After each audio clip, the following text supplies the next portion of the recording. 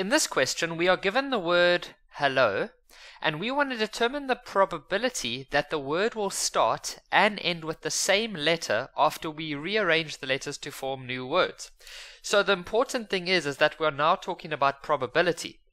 So with probability, you always want to have the total options at the bottom, and then you want to have your event at the top. And our event is start and end with same. Start and end with the same letter. Okay, so I'm just going to write it like that. So let's do the total first. So when you do the total, this is the easy part. You don't put any restrictions onto it.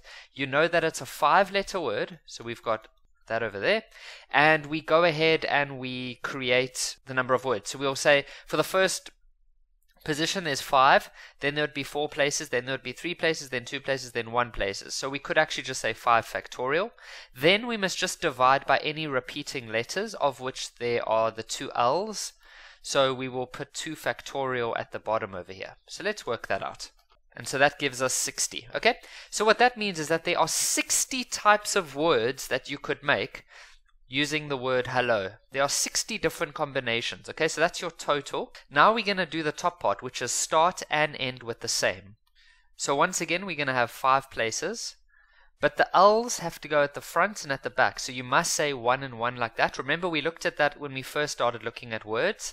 Now we've used these ones over here so now what we do is we see, okay, well, for the next position, we have three options available. So let's say we chose E, then we have two options available, and then lastly, we have the one option available. Okay, and if we had to go, and are there any repeating letters? besides the ones that we've already used at the front and at the back?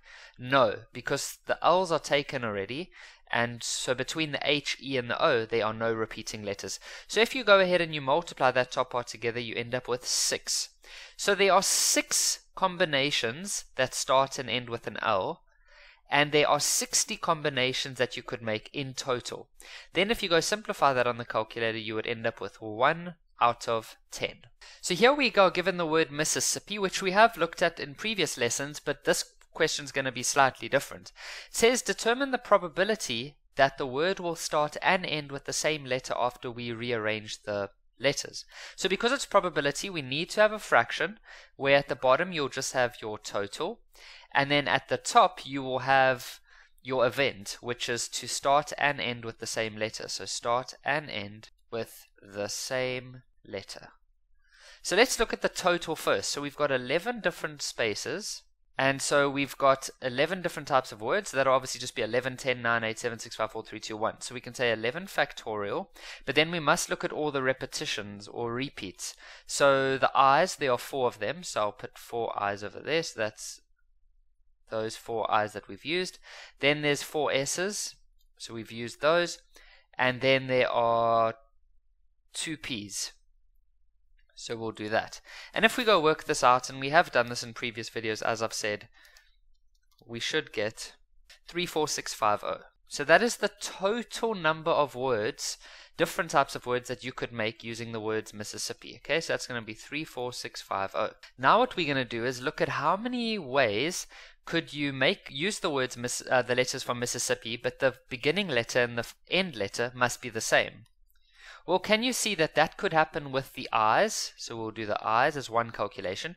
It could happen with the S's, and it could also happen with the P's. So let's do it with the I's first. So with the I's, if you've got 11 letters, and you've got the word Mississippi over here, then if you want to put an I in the front, you put a 1 there and then a 1 there. So let's say we've used that and that. Then the remaining letters, there will be nine of them, so that'll just be 9 factorial. But then you must divide by any repeats that are left over. So the repeats will be the four S's, so we'll put 4 factorial.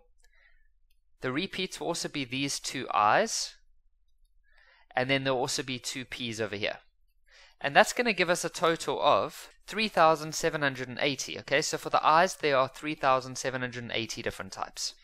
Now let's look at the S's. So if we start and end with S, let's use that one and that one. So that's 1 and 1. Then once again, there's going to be 9 letters left over. So that would have been 9, 8, 7, 6, 5, 4, 3, 2, 1. And that's why I'm just saying 9 factorial. And then we need to look at the repeats. So we've got 4 I's. So that'll go at the bottom. we've got two S's left over besides the S's that we've already used, and then we've got two P's over there. Okay, so if we go work that out, that's also 3,780. So that's for the S's. Now we're going to look at the P's. So there they are. We're going to put them in the front. That's a 1 and a 1. Then you're going to have 9 letters left over. So that'll be 9 factorial. Well, we should technically say times 1 times 1, but timesing by 1 doesn't do anything.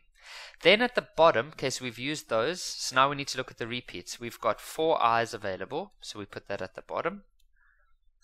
If you're battling with what we're doing here, then you must watch the earlier videos when we started prob the probability chapter. And then for the S's, there are four of those. And that's it. So now we can go work this out. So that's going to be 9 factorial over 4 factorial times by 4 factorial. And that gives us 630. So now what we do is we just add these three together to get the total number of numbers that are or the total number of words that you can make where they start and end with the same letter and that's 8,190. So the fraction is going to be 8,190 out of a total of 34,650, uh, sorry. And if you type that in on the calculator, you end up with a fraction of 13 over 55. So in previous videos, I might have just said determine the number of words that will start and end with the same letter. So your answer would have just been 8,190. But now that we are busy doing probability, you must divide it by the total.